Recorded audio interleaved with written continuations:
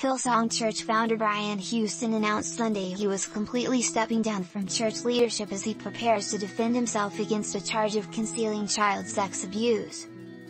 Houston, 67, was charged last August after being accused of knowing his preacher father, Frank, allegedly abused a boy in the 1970s, but he did not come forward with the information to police and allowed his father to retire quietly.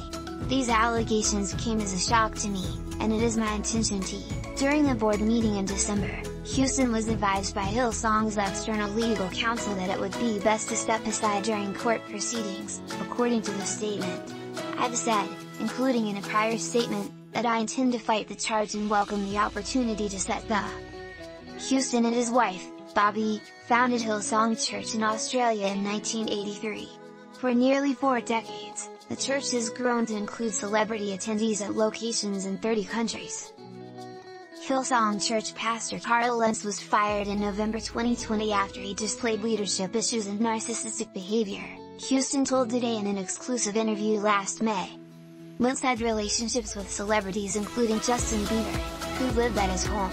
I have reflected many, many times, and am acknowledging that mistakes have been made and that there are things where we need to get far better, much better. Am not shrinking back from that, Houston said during the interview. Houston has been based in the USA in recent months, and he and his wife plan to remain fully engaged in church life. Contributing, the Associated Press follow reporter Asha Gilbert at Coastal Asha. Email, gilbert at usingday.